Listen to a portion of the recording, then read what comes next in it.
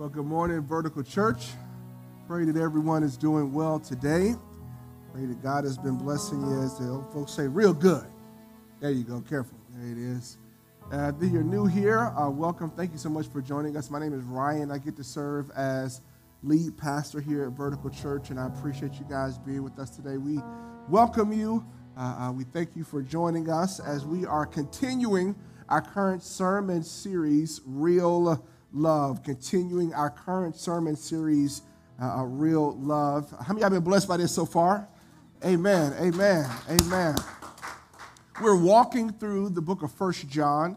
Uh, we're walking through the book of First John, and so this has been an opportunity for us to go verse by verse, expository uh, style with us, walking through First John, and I pray that it has been uh, good to you. Uh, uh, last week, we started a sermon entitled The Love Test.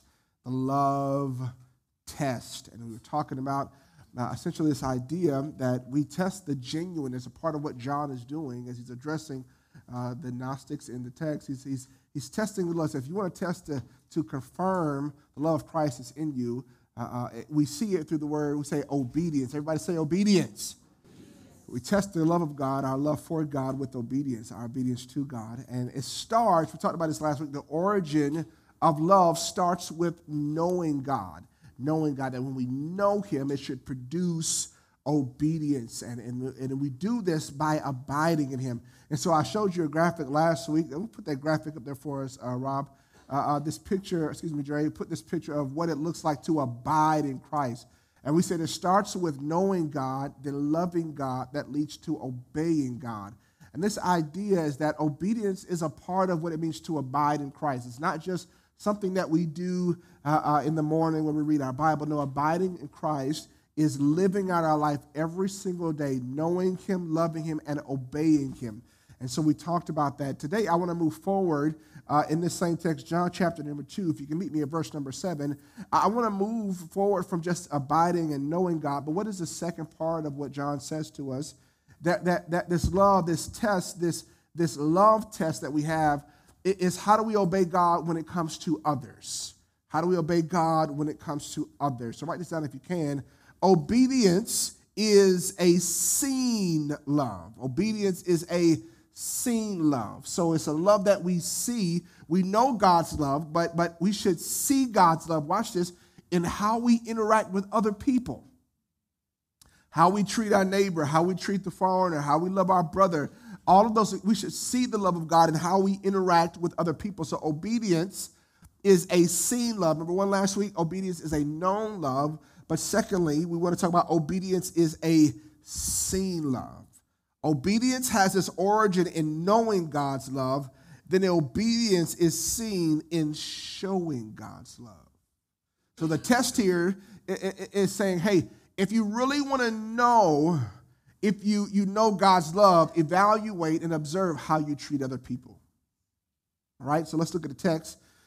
First John chapter number 2, verse 7 says this Beloved, I am writing you no new commandment, something you've heard from old, an old commandment that you had from the beginning.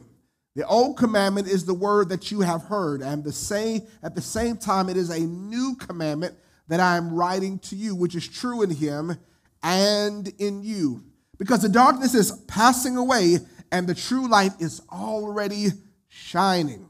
Whoever says he is in the light, watch this, and hates his brother is still in darkness.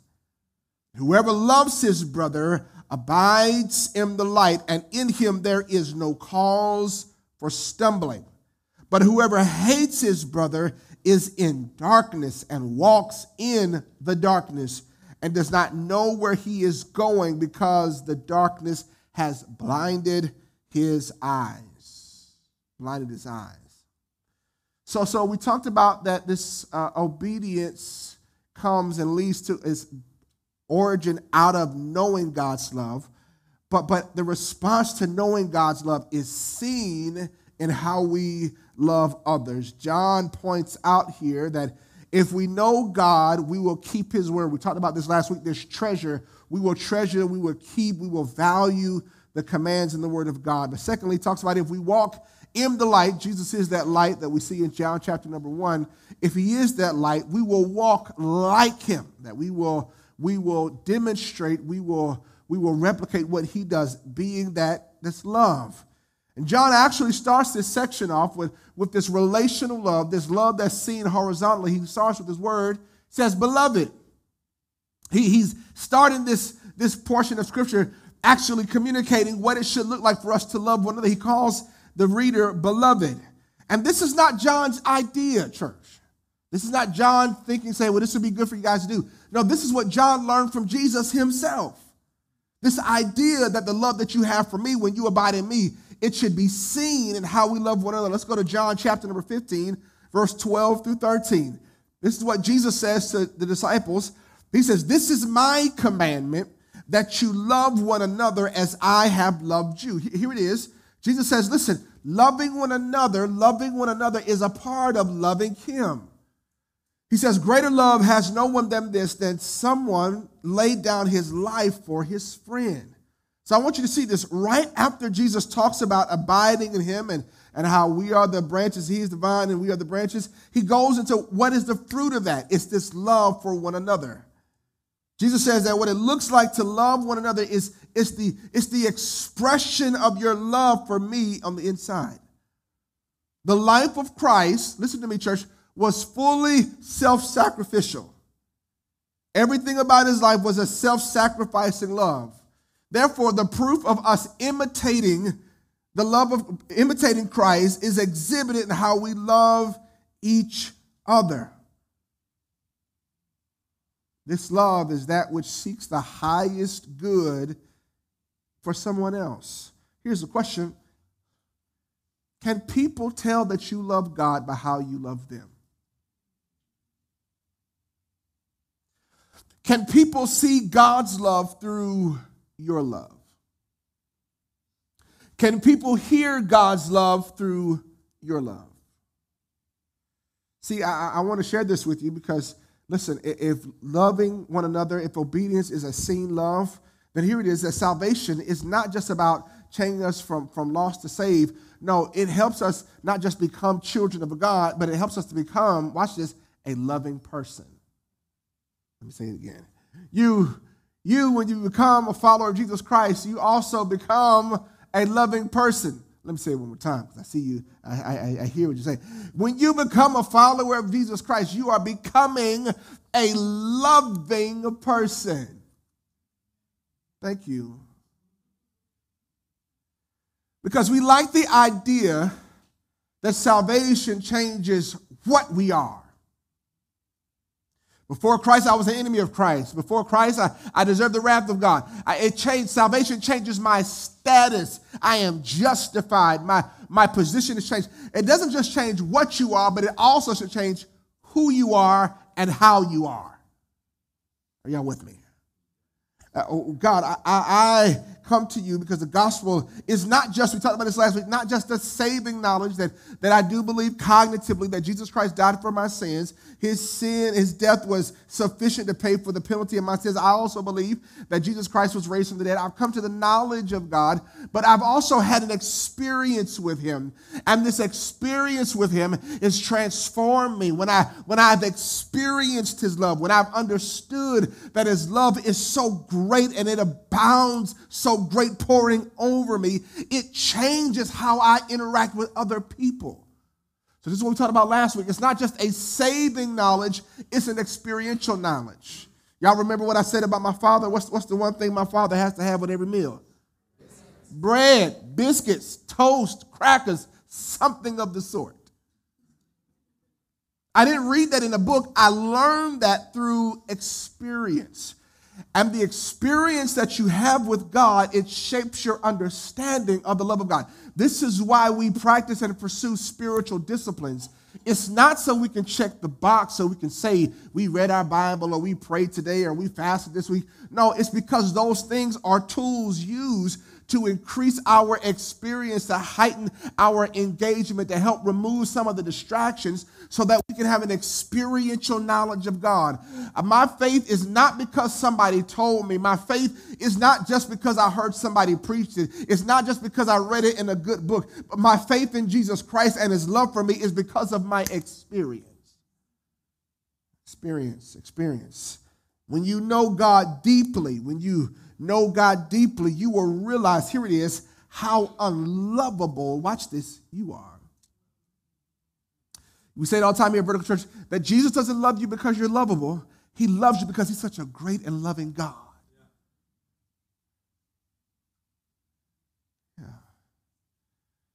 Yeah. I know there was a season, Jan, in my life where I, man, I didn't want to go to the Bible. I didn't want to go to church. I didn't want to talk to saved people because they always make me feel convicted. You know, I, I really believe this. You haven't really read the Bible until the Bible's read you. like, like it's till until it's told you about yourself. But, but listen, here it is. I need that conviction. I need those feelings. I need those moments to help me understand the depth and the greatness of God's love for someone broken like me.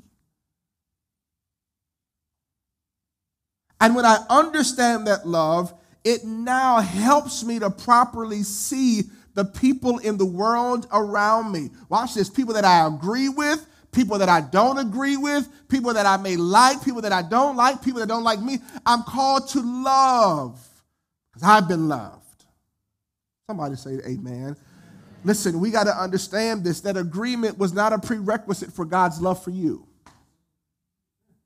Alignment was not a prerequisite for God's love for you. Why are we making that a prerequisite for our love for somebody else? Jesus didn't wait for you to agree with him for him to say, okay, now I love you. Jesus didn't wait for you to say, uh, okay, now I'm going to live my life according to your word. Then he's going to love you. The Bible says that while we were yet sinners, he died. While, while we were in the middle of our mess, while, while, we were, while we were enemies of God, he says, I love you. And, and, what, what Jesus says here, what John is talking about, this new commandment, he's talking about the command of Christ. In John chapter number 50, he says, This new commandment I give you to love others the way, watch this, I have loved you. The old commandment says, Love your neighbor as yourself. But Jesus says, No, I don't want you to love people the way you love yourself. No, I want you to love people the way I love you. But you cannot love people the way Christ loved you if you don't know how Christ loves you. Jesus raises the standard. Let's be honest, we're not all good at loving ourselves well. Okay. I mean, I know you love you some you, but you're not always the best person at loving you. No, I don't want to love you the way I love me. I want to love you the way Christ loved me. My goodness.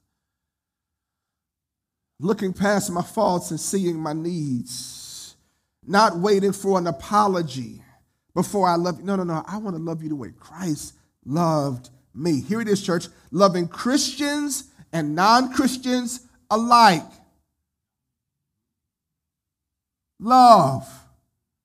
Uh, uh, John says that, that, that anyone that has hate against his brother, you got to hear this, his brother, his brother. I love this because John does not say because we don't have alignment, we can't be brothers. John is, is, is saying here, we've got to be careful because there are some people, let's be clear, even in the context of the church, that people that, that, that have some different theological views that we might not ascribe to. Some of them might not even be teaching the Bible the correct way.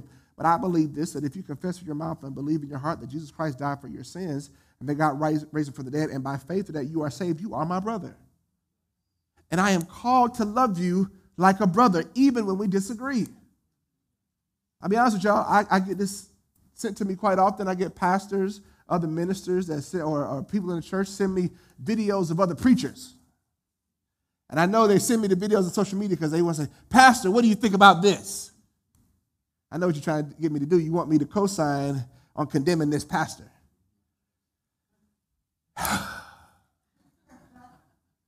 now, let me just say this very clearly. Yes, sometimes it is wrong. Amen. It is wrong. I have no problem addressing what is out of sync with the gospel, what is not biblically sound taught doctrine. Absolutely. But what I'm not going to do is condemn my brother. What I'm not going to do is hate them. Just because I don't have agreement. Here it is my, my, my love is not predicated on what they do or say or feel. My love is based on what Jesus Christ has done for them and what he sees in them. Are y'all with me? John says, Whoever has hate in his heart towards his brother, you can't, you can't claim to be abiding in Christ, walking in Christ, knowing Christ deeply, following him fully. You cannot claim those things and hate your brother at the same time. That, that, that, is, that, is, that is inconsistent with the gospel. And here it is, I want you to see this. When, when, when John is talking about hate here, he, he's using what, what is hyperbole or he's using it comparatively. He's not saying this extreme hate, but, but if you don't love your brother, He's using these polar opposites here. Jesus does this several times in Scripture. Uh, uh, one example would be when Jesus says, uh, uh, If you don't hate your brother, hate your sister, hate your mother, hate your father, hate your son, hate your daughter, you're not fit to follow me. Jesus is not saying literally to hate your parents. Amen. So make sure I got that clear, okay? Because y'all looked at me like, really? It's not what he's saying. What he's saying is listen, your love for me should be so great in comparison. He, he, he's talking about this imagery of like, listen, you should be following hard of me. You should love me more than you love your parents, love your wife, love your children, your children, your children.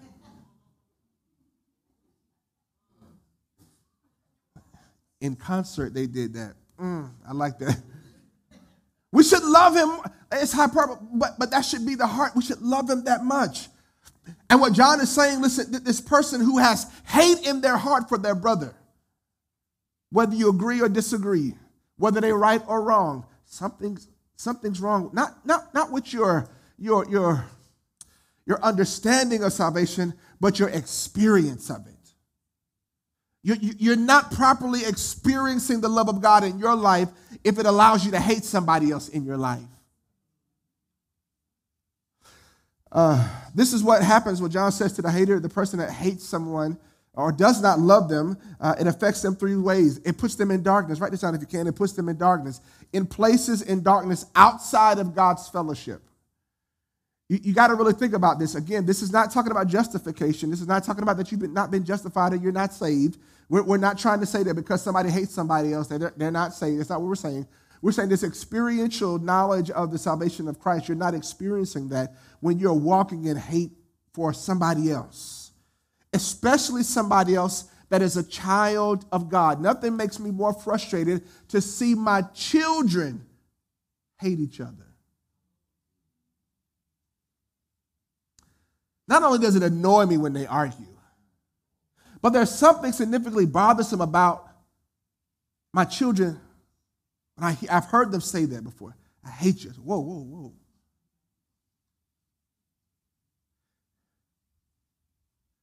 Y'all are both my children. Y'all are brothers and sisters. Y'all, y'all, y'all might not get along, but we can't, we can't have this hate. Listen to me, church. We can't have this hate between us. What, the Bible says that, that Jesus is our peace. Not peace for me, peace between you and me. Y'all hearing me? Uh, this, this, this person that walks in hate is in darkness. He also says that there's an issue with direction. So this person that has hate, put that on the screen for me, right? His hate and direction. It leads to aimless activity in which he or she is in great spiritual danger, in which there is the possibility to fall. I, I want you to understand this: that that hatred in your heart will lead to sin in your hands.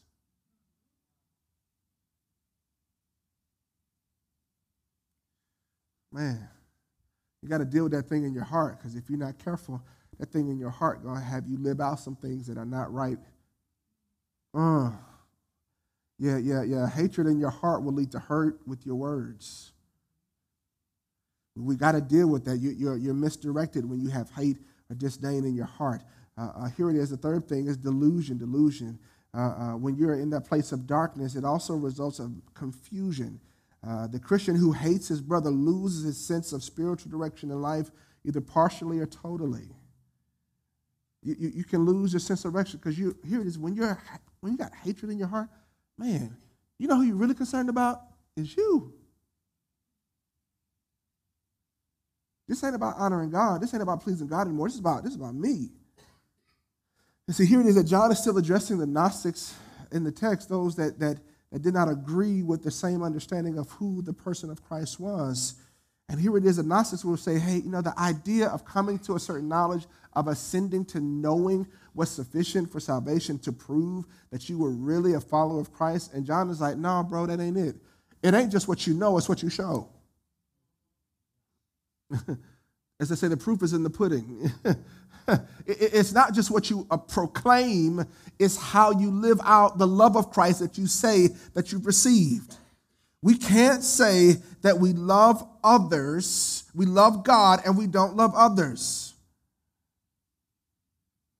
Can't say that, y'all. I can't, I would be a horrible pastor to hate another pastor. I can, I can disagree. I can say I wouldn't recommend. But man, if you say you love Jesus Christ, we need to work out the other stuff. My heart is to see that you will come to know Christ in a deeper way.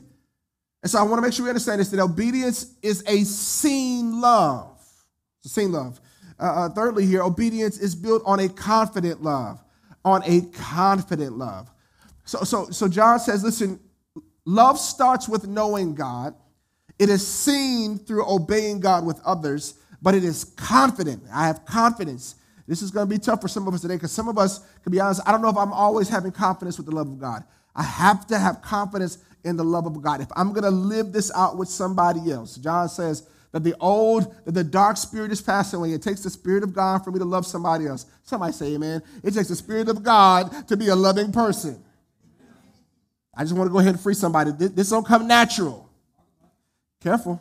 Um, but but but we need confidence to be reminded of that. And John he takes these moments to, to before he observes it. Let me just remind you of some truth, some truth, some truth that we all need to be reminded of. Because again, if you don't know the love that you have received, it will be hard to give that same love to somebody else. Uh, uh let's go to 1 John chapter number 2, verses 12 through 14. John says, I am writing to you, little children, because your sins are forgiven for his name's sake. I'm writing to you, fathers, because you know him who is from the beginning.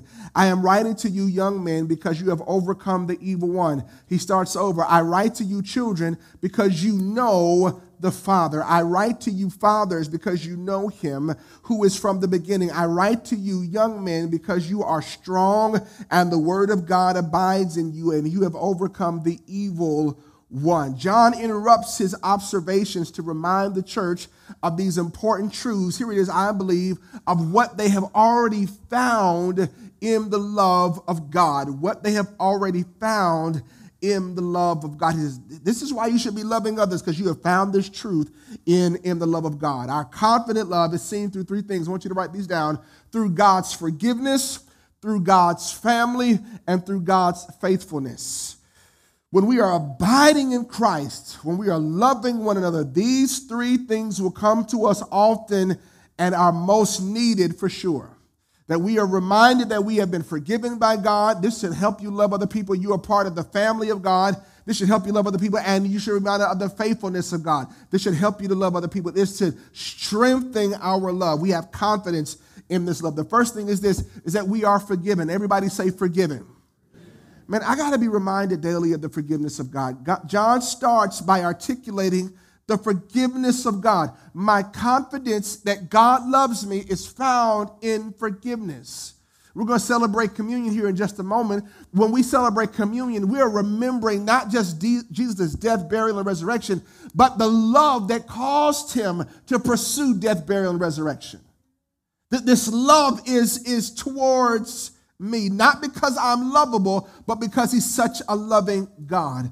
I love what Matthew says about this. Matthew articulates this when he's talking about Jesus being born in Matthew chapter number 1, verse 21. She will bear a son, talking about Mary, and you shall call his name Jesus, for he will save his people from their sins. Yeah, that's forgiveness. Man, that's my confidence in God's love. Listen to me, listen to me. It's not because my life is going the way I desire it. The absence, the presence of problems is, is not the absence of God. The presence of problems is not the absence of God's love for you.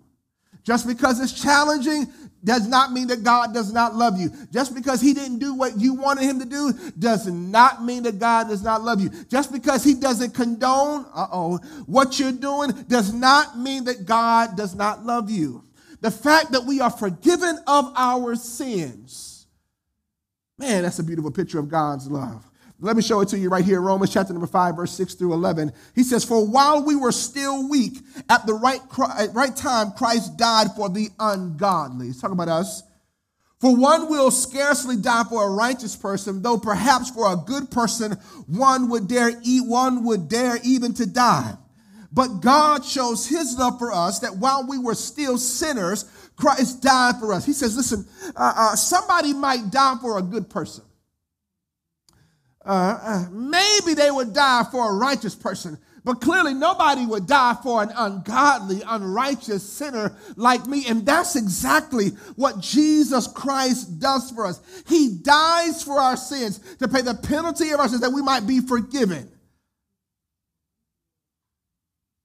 I got confidence in the love of God. Verse 9 Since Therefore, we have now been justified by his blood.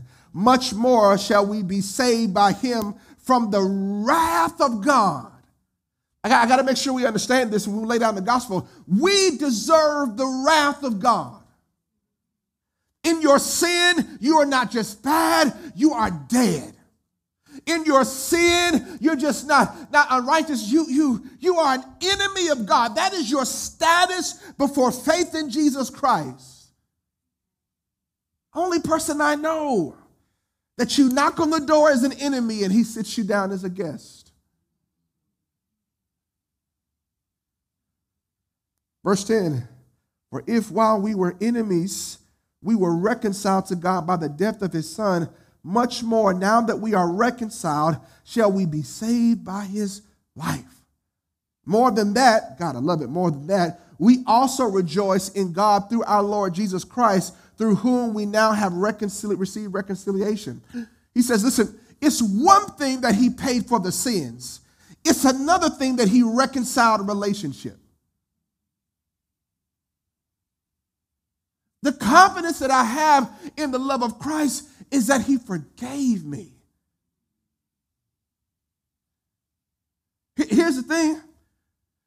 Before you would ask for forgiveness, he did what was necessary to forgive you.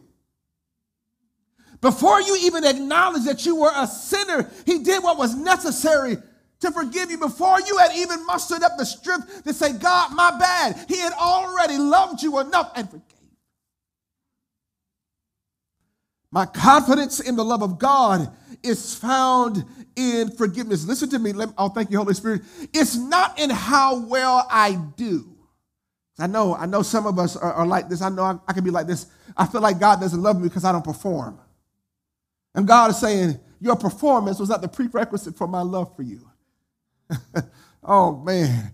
You, you, didn't cross every T and you didn't dot every I. He said, But I still loved you. I saw you in your mess. You said you would never, ever, ever, ever, ever, ever, ever do it again. And you did it the next day, and I still loved you. There's nothing that you can do to make me love you more. And there's nothing you can do to make me love you less. This is the goodness of the love of God and I have confidence in it.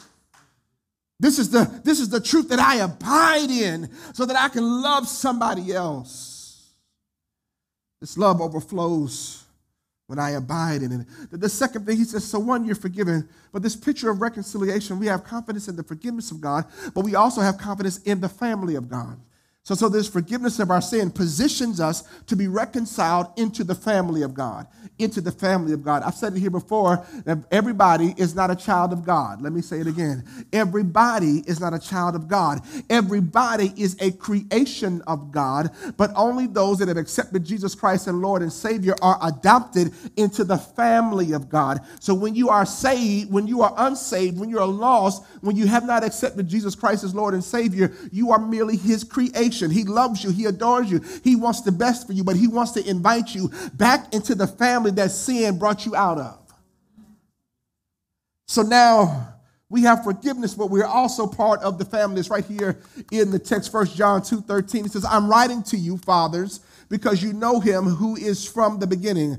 I am writing to you, young men, because you have overcome the evil one. I write to you, children, because you know him as Father. John writes to three specific groups here children, young men, and fathers, speaking specifically to different age groups, not age groups, but different spiritual maturity levels or different levels in their walk with Christ. And he says, Listen, you have come to know him as Father. So, so I, my sins have been paid for with the blood of Jesus Christ, but, but, but I'm not an orphan. Man, I, I, I'm not left out there to fend for myself. No, no, I'm invited into the family of God. I'm invited into the community of God. I am invited as a seat to a seat at the table. And John says, listen, you, you have this new family. Uh-huh. That, that God is not this distant uh, deity that is looking down on you, judging you, waiting to catch you in sin. No, no, no. He, he is a loving Father that we, we call out to Him and cry out to Him. Abba, Father, He cares for us. He, he wants to be near us. He, he wants to hold us when, when we are broken. He wants to make things better. He is our provider. He, he is our hope. He, he is our healer. He is our loving Father. And in this, I have confidence in his love. Now, now let me say this here because I don't want us to miss this that, that a lot of times some of us struggle with the love of a father from like God because we struggle with love with our earthly fathers.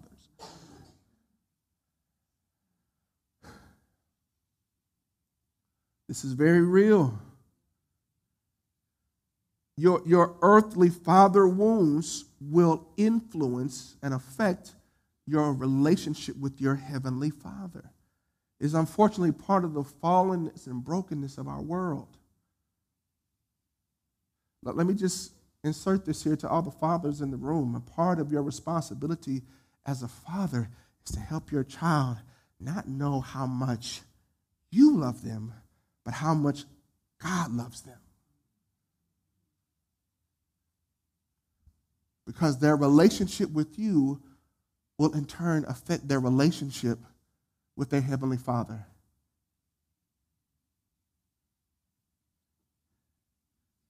The idea of, of family is designed to help us to understand the relationship with God. The idea of marriage, the, the, the marriage that we see that God gives us in Scripture, your marriage ain't about you. Your marriage should be pointing to the love of God. Your parenting isn't about you making your children happy. Your parenting should point to the love of God. And we are invited into the family of God. And that family gives us confidence in His love. Lastly, right here, we, we see we have confidence because of the forgiveness of God. We have confidence because we're part of the family of God. But thirdly, we have confidence because of the faithfulness of God. He says to the young men, to the, to the fathers, to the children, says to the young men specifically, you are, you, have, you are strong and you have overcome the enemy. Here it is. Let me just stop here and say this that, that when you are in fellowship with Christ, it, do, it does not mean your life will be absent of a fight. The Bible says we war not against flesh and blood, but against what? Spiritual principalities. There are things that we're going to have to fight. We're going to have to fight. Y'all, y'all, listen to me. We're going to have to fight to abide in Christ. There are so many things in this world that are pulling us to distract us. We have to fight to believe. We have to fight to hold fast to the faith. Faith, we have to fight to hold fast and stay the course. But God is what? Faithful. He says it right here. God is faithful through his word. 1 John 2 14 says, I write to you, brothers, because you know him who is from the beginning. I write to you, you young men, because you are strong, and the word of God abides in you, and the word of God abides in you, and the word of God abides in you, and you have overcome the evil one. Because the word of God abides in you. Not because you're so good, not because you're so holy, not because you're anointed, amen but because the word of the Lord abides in you. It is the faithfulness of God, not the faithfulness of you. And his faithfulness is a reminder of his incredible love towards me. I have confidence in the love of God that I can do nothing to, to, to cause God to stop loving me. He can be disappointed with what I do, but it doesn't mean he doesn't love me. And his confidence helps me to share the love with others. Here it is, number four. We're closing right here. Number four. So, so, so, um, Obedience is a seen love. Obedience comes and is strengthened. We have confidence in a confident love. But fourthly, obedience, here it is, produces a focused love. Everybody say focused love. 1 John does not leave us here without a warning.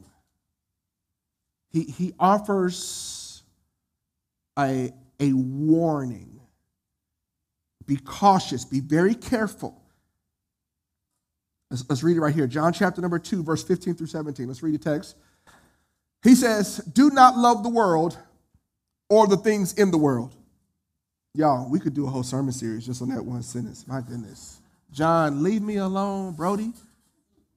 He says, Do not love the world or things in the world. If anyone loves the world, the love of the Father is not in him. Oh my God. Verse 16 For all that is in the world, the desires of the flesh and the desires of the eyes and the pride of life, is not from the Father, but is from the world. And the world is passing away along with its desires, but what, whoever does the will of God abides, y'all, underline this word, forever. John warns us here. He warns us. He warns us. He gives us the truth of God in verses uh, uh, uh 12 through, through 14 here. But 15 through 17, he warns us about the lies of the world. You got to see this. Because these are, these are what we consider to be three truths of the world. These are things that the world would say could be true, but we got to learn from this. Here we got to learn. Uh, the world will, will, can't give you what you need. This is the truth we need to know. The world can't give you what you need. The second thing we gotta learn, it can't give you what it promises. The world can't give you what it promises. And then thirdly, it can't give you what will last. It can't give you what will last. It can't give you what you need. It can't give you what it promises, and it can't give you what will last. You got to see this. He says, The world can't give you what you need. Focus on God. Focus on God. The human heart is longing to be loved and to love. And the truth of the matter is, is we want something that the world cannot give us. And John says, don't give your love to the world because it will not give you the love you are actually looking for. What you need will not be filled by the things that are in this world. I, know some of you here, you think, oh, I just need to get married. That ain't what you need. If I just have children, no, no, listen to me. That ain't what you need. Let me be the one to tell. No, okay, I'm sorry. the, the, the, things that you think are in this world, if I just made a little more money, man, that, that I'll be I'll be comfortable. No, no, no, no. That ain't gonna give you what you need. If enough people like what I do, no, that, that, that, ain't what you need. The things of this world cannot give you what you need. You're going to find that in Christ and Christ alone. That gap, that hole in your heart can only be filled by the love of God. Trying to pursue stability, identity, anything in this world, possessions, what you can acquire, your influence, it will never give you what you need. Focus on God. Don't be distracted by the things of this world. Uh, he says, so, so it won't give you what you need. Focus on God. It can't give you what it promises. The world can't give you even what it promises. Focus on God. The world here uses this picture to present one of the most dangerous distractions to men and women alike of all ages across all time. You think if you get this thing, this will make everything better. We, we have this picture in our world of what success is, and it's more money, and it's houses and cars. And man, I cannot tell you how many times I've walked with people that had what I thought I wanted, but they didn't have what I really needed. John 1 2 16 says, For all the world is in the world. Here it is, write these down the desires of the flesh, the desires of the eyes, and the pride of life It is not the Father, but it is from the world. We got to be careful of what we call our appetites, our affections, and our ambitions. Here, here it is, write it down. Our appetites. I see this in the text. Our appetites. This is the desire of the flesh, trying to fulfill our natural desires in a way that is contrast to God's design and direction. Uh, I would consider, say, sin or unrighteousness is trying to do God's thing your way. Say it again. Trying to do God's thing your way. We live in a culture where we celebrate doing our thing our way. And what happens a lot of time, we talked about this idea of changing the scale last week and move, uh, erasing the line and saying to keep moving it back. All we're trying to do is to say, God, I believe that's a good thing, but I want to do it my way. That's trying to fulfill, here it is, your, your, your, your appetite, appetites. We think if, if we do, if we get just what we want, it'll be enough. Have y'all, I don't know about anybody else, every time I eat, I'll get hungry again.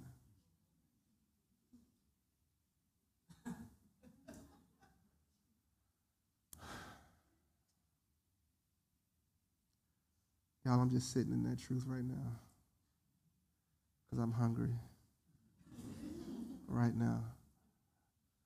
Here's the sad part about.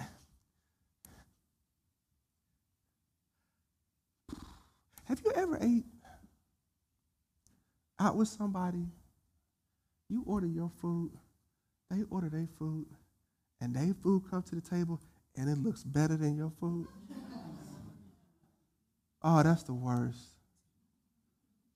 Oh, that's the worst. The only thing that's worse than that, only thing that's worse than that is that you're sitting with somebody that thinks your food looks better than their food. My wife used to have to ask. Now I just throw both my hands up. let me, let me taste that. And in my mind, I'm thinking, no, your appetite said you wanted what's on your plate. You said you wanted this. You told the man and the woman you wanted this medium well with asparagus. Your appetite, God help me, is insufficient because you never have enough. Got to be careful what I'm after. I want more of it. Uh, we think that if we have what we want, it'll be enough and it's never enough. Not.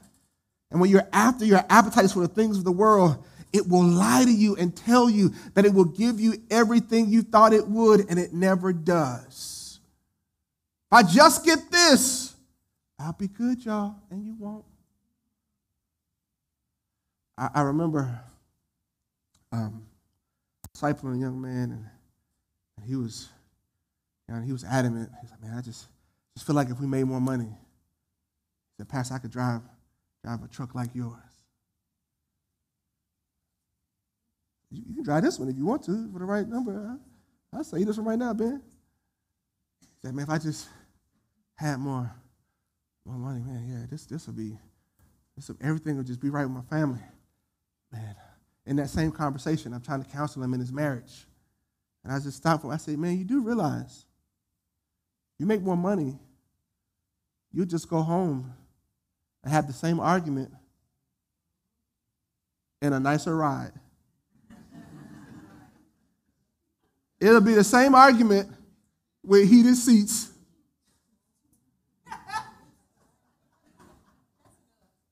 You'll, you'll get in the same argument and lay in a king size bed because you're not dealing with the real issue, it's your heart.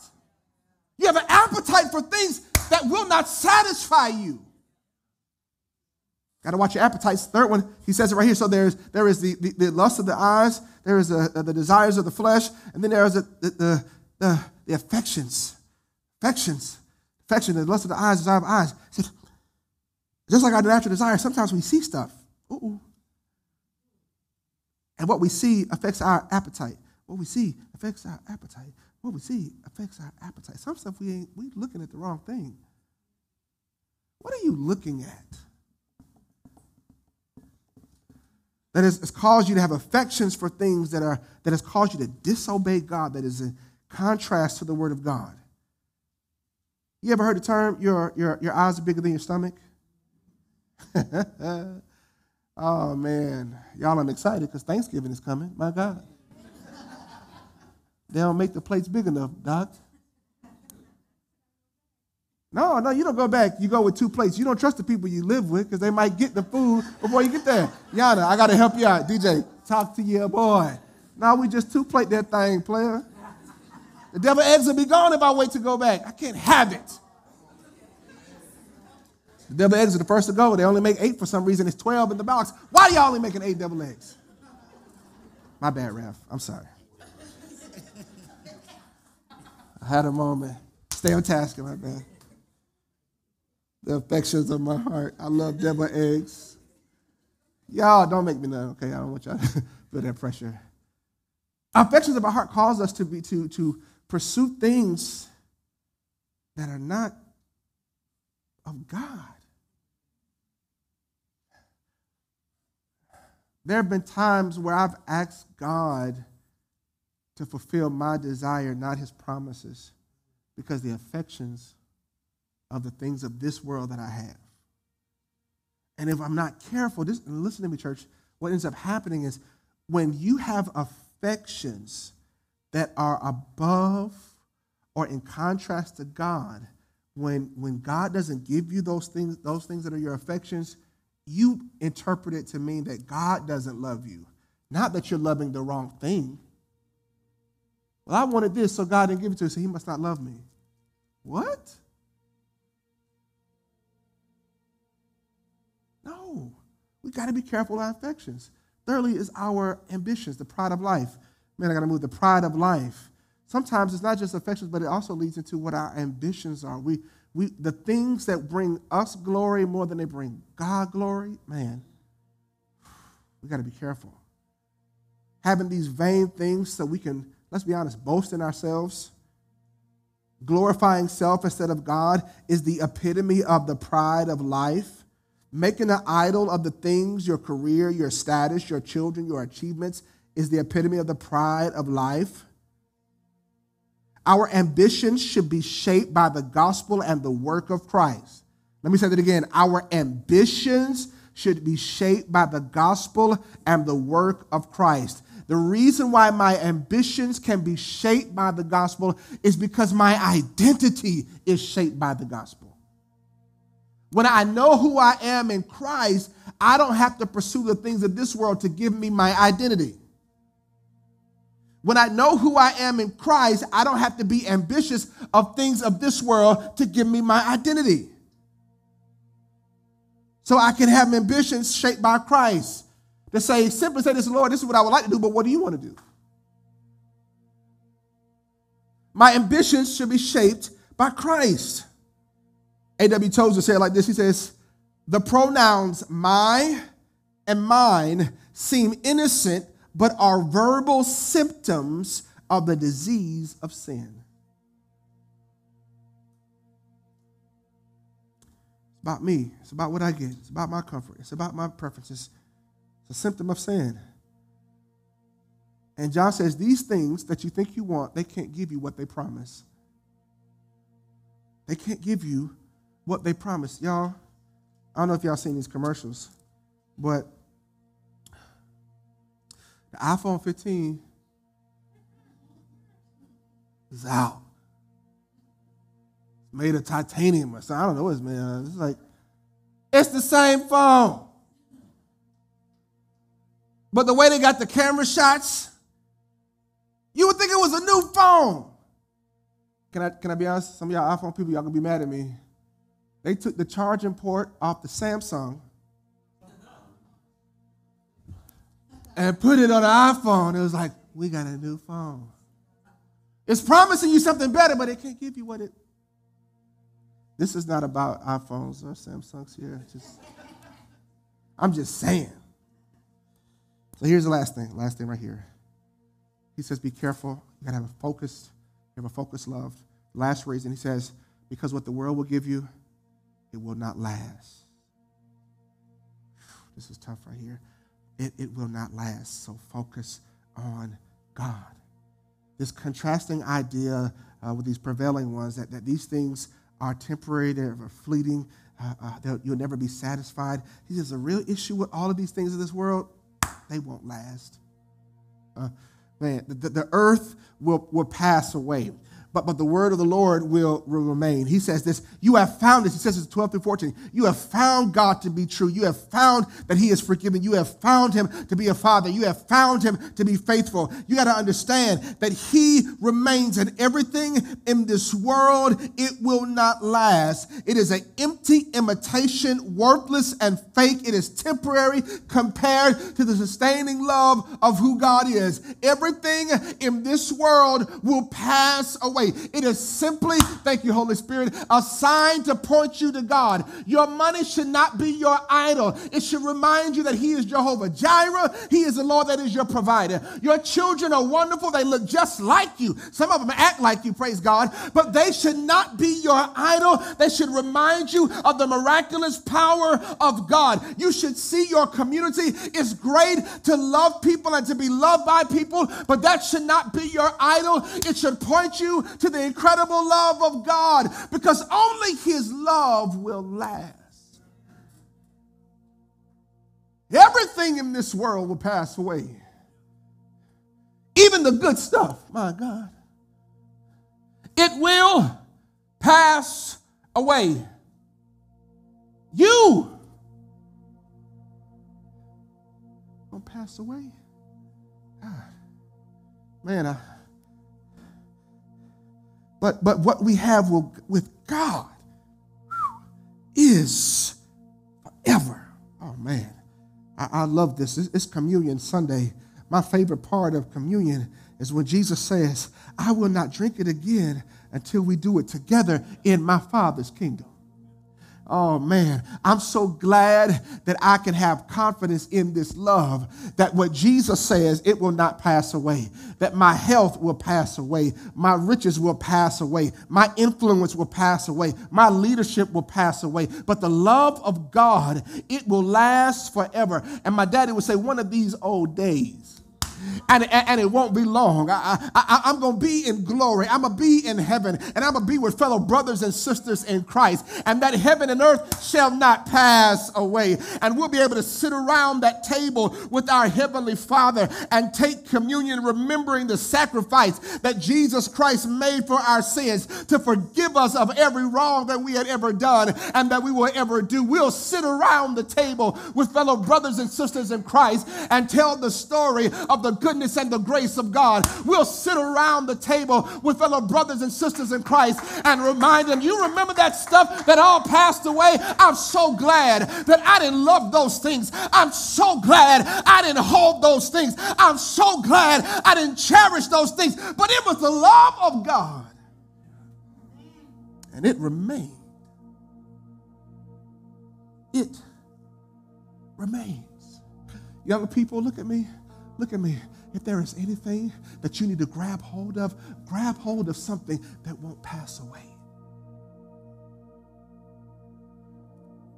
Grab hold of something that won't pass away. And that something is the only thing that's Jesus. Oh man. Grab hold of it.